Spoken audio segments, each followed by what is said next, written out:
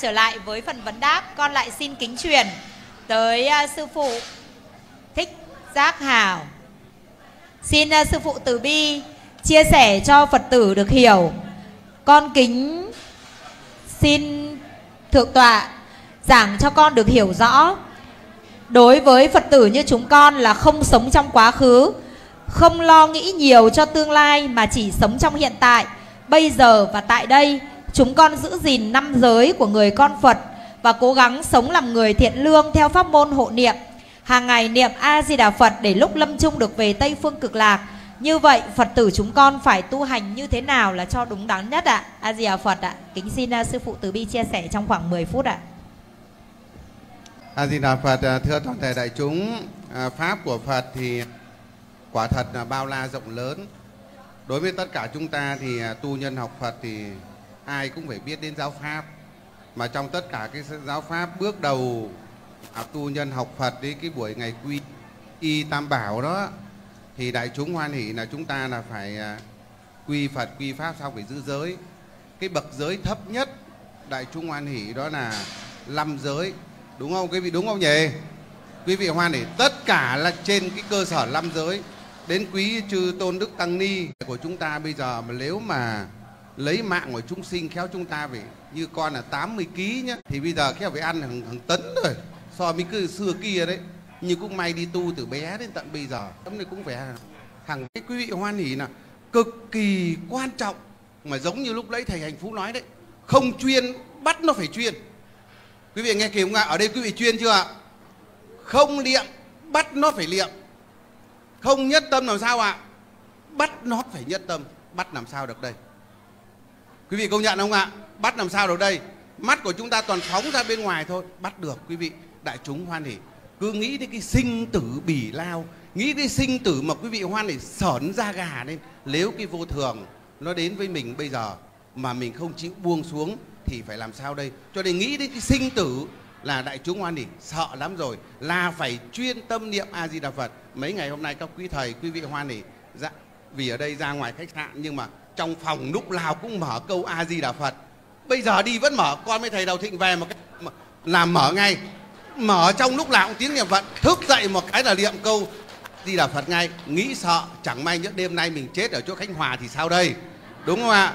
Nhưng mà không sợ, nghĩ đến cái sinh tử rồi, cái vô thường đó, nó nó đến bất cứ lúc nào, thở ra mà không thở vô là toi xong một đời rồi cho nên nghĩ đến đó cho nên để càng phải hạ thủ quyết tâm thôi. Kể cả ngày mai vắc sinh thì bây giờ ta vẫn cứ quyết tâm niệm niệm phật ăn kể cả đêm hôm nay không ngủ.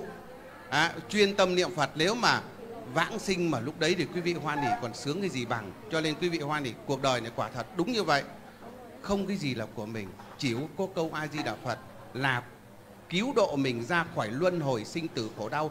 Còn tất cả những cái gì đang có ở trên thế gian này quý vị không giải quyết được một vấn đề gì khi chúng ta lâm chung, hoặc là khi chúng ta hết phước thì khổ đau, hiện tiền nó sẽ đến với tất cả chúng ta đấy. Cho nên quý vị hoan hỉ câu hỏi này, quý vị hoan hỉ đúng rồi, khép lại quá khứ, đừng nghĩ về quá khứ đó phúc trí nói rất hay, nếu quá khứ chúng ta gây tội lỗi đấy, mà chúng ta cứ nghĩ đến quá khứ, thì giống như là chúng ta lại copy thêm một một lần, đúng không ạ? Tội lỗi quá khứ đấy, mà hôm nay nghĩ một lần thì copy thêm một lần, mà nghĩ copy thêm hai lần, nghĩ lên càng nhiều thì tội nó càng chồng chất lên. Tội thì nó cũng là tội rồi, mà kệ nó, quên đi, đè nó xuống. Không cho nó tạo cái duyên nữa, thì chúng giống như chúng ta có một cái hạt giống ở trong túi này, mà bây giờ chúng ta không cho xuống đất, không tạo cái duyên đó thì dù cho dù là hạt giống ác gì đi nữa thì nó cũng không lẩy mầm, không lẩy mầm được. Quý vị công nhận không ạ? À?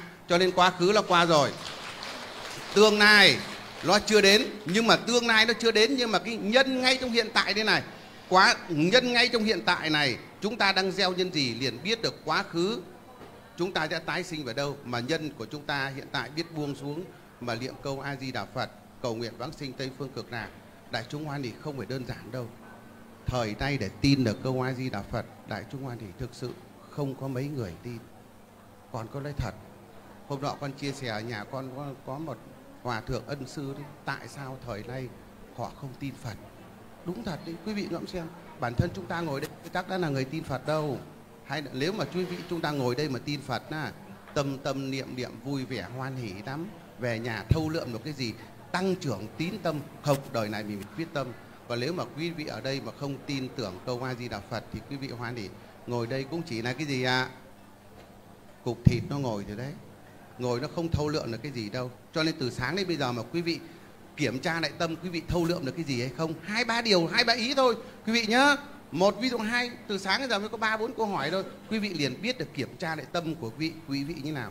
Lấy pháp nhãn để soi lại tâm của chúng ta. Ví dụ như là cái câu mà hỏi là, bây giờ thì con gần mất rồi, bệnh rồi, mà bây giờ thì con, nếu mà ăn chay con sợ không đủ sức, con phải ăn thịt. Đúng không ạ? Câu hỏi vừa xong thầy đầu thình trả lời đấy đại chúng hoan hỉ rằng là cứ ăn thịt đi, khéo còn nhanh chết hơn nữa đấy.